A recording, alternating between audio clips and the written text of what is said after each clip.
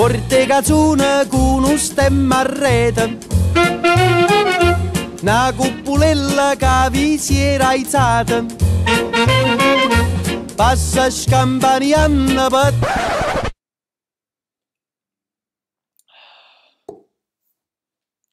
Sono tornato.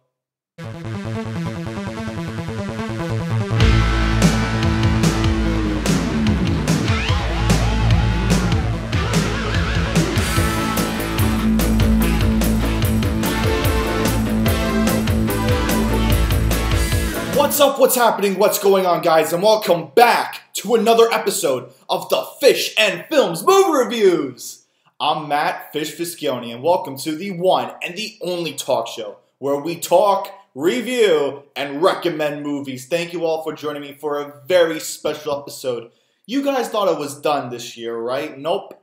That ain't the case because, like I said before, I'm here in Florence, Italy, studying abroad for three and a half months, which means I will be giving you guys exclusive field packages right here in Florence, in Rome. No matter where I go, you guys are going to come along with me. So thank you all for joining me.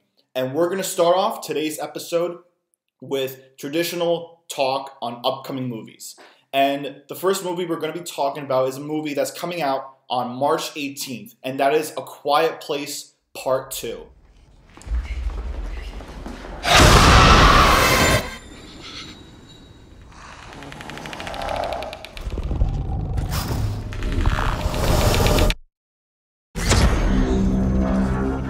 Don't know why you came all the way up here. There's nothing left. Now, guys, to be honest, I really wasn't a huge fan of the first Quiet Place. What I did like was the idea of you have to be quiet throughout the entire movie in order to keep yourself safe from the monsters. That was good storytelling, and I loved how it was the suspense was built throughout the entire movie from beginning to end. That being said, I felt like the movie was a bit overrated. Now, I understand why people would want to defend themselves and how they would say that the first Quiet Place was really, really good. That's just my honest opinion. I feel like part two is going to be way, way better than part one. We have Emily Blunt's character and her children to travel to areas to their hometown that they may not even seen or meet people that they haven't even seen before. And I feel like the overall suspense and the feel is going to be much more creepier than the first one. So I'm hoping to enjoy it just as much as you guys will. Now, over here in Italy, we have Netflix. As you scroll down to the movies and TVs, it is a big upgrade than what we have here in the US. So much better. But a movie that I came across is something that a lot of people told me to go see, but I never really got the chance to. So, for you guys, I'm going to be reviewing a film that two years ago won the Oscar for Best Adapted Screenplay, and that is Call Me By Your Name. The movie takes place in the summer of the 1980s, and it is set in northern Italy. The movie follows a boy named Elio, who starts to fall in love with his father's intern from the United States, Oliver. And soon they get to know each other, they become friends, and they start to know things about themselves that they haven't even discovered yet, and they have a little special bond. When a lot of people told me to go see this movie, I really wasn't sure what to think.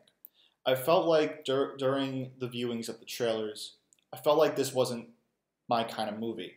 That being said, this movie was absolutely beautiful to experience, but also to look at. It is a beautifully shot film, amazing cinematography, great color palette. It is so vibrant and very colorful to look at, and it makes you feel like you were there in Italy. If you're someone who has actually been there, you know the sights, you know the smells, you know the overall feel. This is a movie where you are actually going to jump onto the screen and you're going to be there with these characters.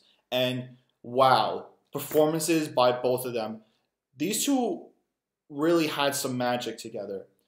The way that they interacted with each other and the way that they were performing, it felt like that they have worked on numerous films together. I enjoyed both characters very, very much. The music was absolutely beautiful to listen to with, you know, little notes of piano and some cello. It was all beautiful.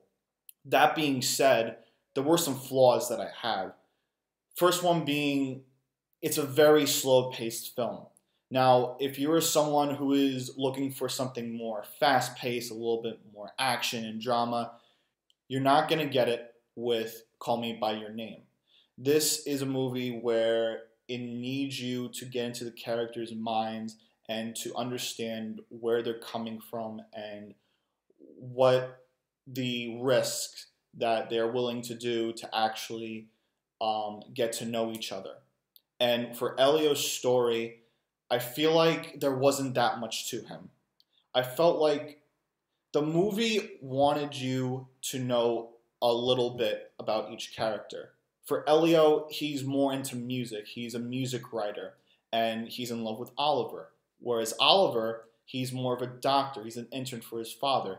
That that really is all you get to know about the characters. I just wish that there could have been more to actually go behind these characters and to actually give us a reason why we should feel for these characters, how we should feel the way that they're feeling for each other.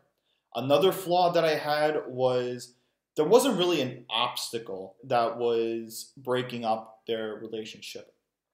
What I mean by this is if you ever seen Moonlight, you can understand the character's struggles to actually coming out of who he is based on the town that he's living and the people that he comes across.